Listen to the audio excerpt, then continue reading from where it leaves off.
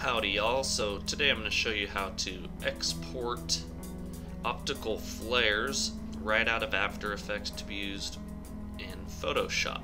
So let's dive right into this. So make a new comp, doesn't matter, you don't have to change any of the settings in here. Just hit OK. Let's go ahead and create a new solid and we'll go down at our optical flare beast of a default optical flare there.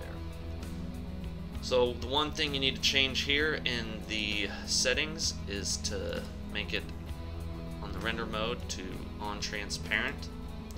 And then you can come down here to this toggle transparency grid and click that just to make sure that it's looking right. But just so we can see it now let's toggle it back on. And that's basically all you have to do now let's go ahead and render this out. I'm gonna go to composition save frame as file. Render queue. The first setting here the render settings. Current settings is fine. We're going to come down to the output module and click on the highlighted underlined yellow word here. It might be Photoshop it might be something else. So let's click on that. And let's go to format and change the format to PNG sequence it'll only be one photo so it's not very much of a sequence but that's what it is anyway. And make sure that the channels is set to RGB plus alpha. Hit OK. And that's all you got to do. Go to our output module.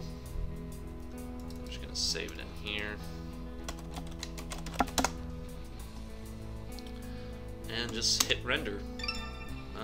Now let's open up our Photoshop file and go ahead and find our flare. There it is. And let's go ahead and drop it in. And bada bing, bada boom. There you have it.